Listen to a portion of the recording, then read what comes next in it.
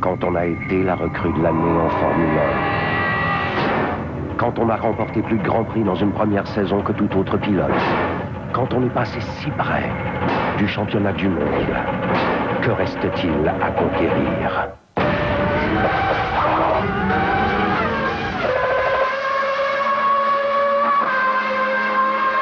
Jacques Villeneuve et l'équipe des courses Formule 1 Rothmans et Williams Renault en piste à la conquête du monde.